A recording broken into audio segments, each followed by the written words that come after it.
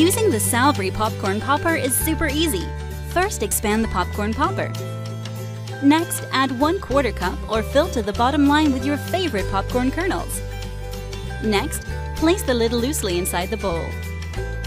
Use the two handles to place in the microwave and cook for 2 to 4 minutes.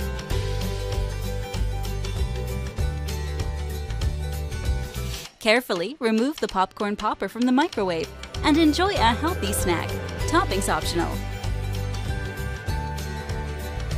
The Salbree Popcorn Popper features a collapsible, space-saving design, is made from food-grade silicone, is dishwasher safe, and comes in an assortment of colors.